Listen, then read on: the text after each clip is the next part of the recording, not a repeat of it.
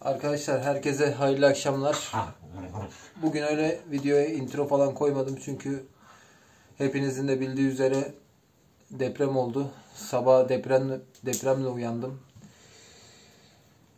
Benim bulunduğum bölgede çok fazla öyle hissedilmedi ama çok fazla evler yıkılmış, insanlar yaralanmış, hayatını kaybeden insanlar var çok fazla yani. İçimiz kan alıyor. Bugün sabah yaklaşık işte işe gidecektim. Sabahleyin uyandım öyle. Alarm çalmıştı. 6, 6 mıydı? 6.30 muydu? Tam olarak bilmiyorum. Telefona bakıyordum böyle. Bir baktım yani şeylerde direktmen zaten son dakika şey haberlerinde gözüküyordu. 70 kişi hayatını kaybetmişti. 250 falan yaralı vardı. Saatler geçtikçe yaralı sayısı, ölü sayısı artmaya başladı. Gerçekten yani çok kötü bir durum. Hele ki o enkaz altından çıkan insanlar çocukları falan görünce çok kötü oluyor insanın içi. Ya bir de canımı sıkan bir, bir şey oldu. O da bir tane şey izledim. Yağma yapıyorlar ya. Böyle bir, BİM'in camın, camları kırılmış depremden dolayı. Orada yağma yapıyorlar insanlar. Kaç kişi birisi çekiyor onları. Onlarca kişi işte ne varsa BİM'in içerisinde onları alıp kaçıyorlar falan. Vay arkadaş ya.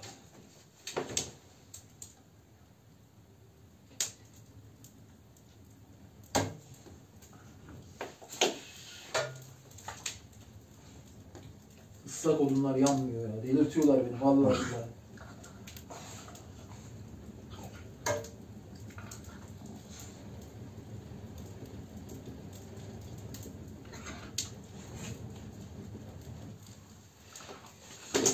Bu ayki maaşı alayım da şey alacağım ya. Ee, kuru odun alacağım. Biraz.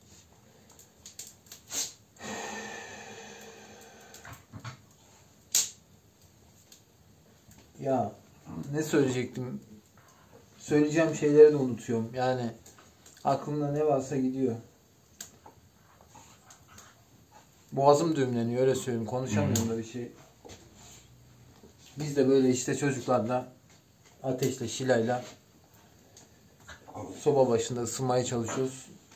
Yani şöyle bir dünya geneli dünya değil de Türkiye'nin geneli gerçekten çok zor zamanlar yaşıyor. Bir de deprem tam şeyin zamanında oldu yani böyle karlar yağdı. Ne bileyim soğuk oldu her yer böyle beyaza büründü. Bir anda deprem oldu yani 10 ilde deprem olmuş. Hele ki bir de İstanbul'da böyle bir deprem olsa yani yer yerinden oynar yani. Her yer yıkılır. Abi ben zamanda yani inşaatta çalıştığımdan da biliyorum ucuz olsun diye tuğlanın kötüsünden kullanıyorlar. Çürük tuğla kullanıyorlar. Ne bileyim demiri eksik koyuyorlar. Daha ucuza bitirebilmek için inşaatı. Bunlar da ne oluyor? Deprem olduğu zaman zaten çürük tuğla. Üzerine sıvayı vuruyor, şeyi vuruyor ama ne kadar tutacak ki o çürük tuğlayı. En ufak bir sarsıntıda şeyde hepsi kırılıyor gidiyor. Yıkılıyor yani. Tamam sağlam yapanlar da var ama genel olarak hep ucuza kaçıyorlar yani. Ucuza kaçıp ucuz yapmaya çalışıyorlar.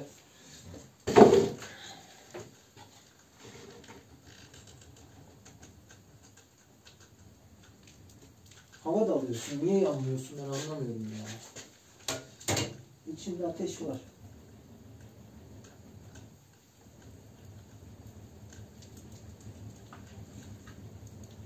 Bak şöyle bir yerliyorum. Bir ateşleniyor. Ondan sonra geri şey yapıyor. Islak ya ıslak olduğu için böyle.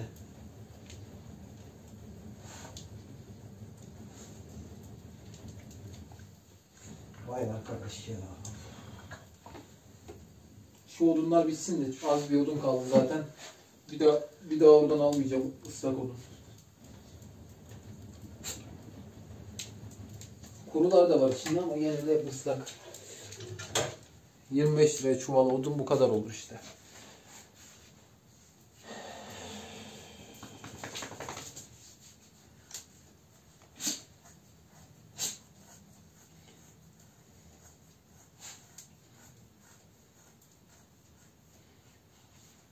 Diyecek çok fazla da kelime yok aslında. Diyecek fazla, çok fazla da söz yok.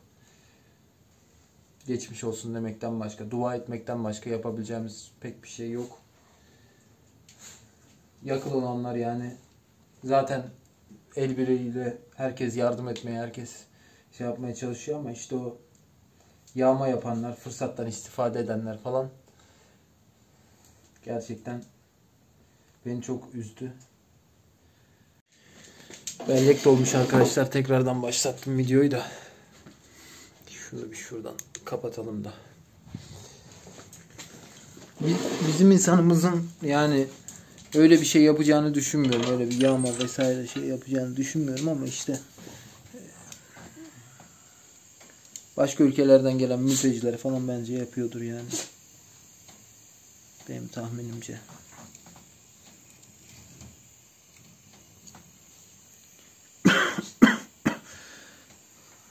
Ya bu kadar soğuk var ya. Çok soğuk ya. Gerçekten. Askeri şeyi de çıkarttım. Uyku tulumunu da çıkarttım. Şöyle göstereyim. Ne oldu kızım? Ne oldu? Ne oldu? Ne oldu? Oh. Ateş de burada. Şila da burada. Şila'yı birazcık gezdirdim bugün karda. Ateşi de şey yaptım. Gezdirecektim de ateş çıkmadı. Çıkmak istemiyor. Sanki onu e, terk edecekmişim gibi sanıyor. Bırakacakmışım sanıyor. O yüzden çıkmak istemiyor ama Şile'yi gezdirdim öyle. Şimdi birazdan zaten odunlar yanmıyor. Yansa şöyle kuru odun da kalmadı.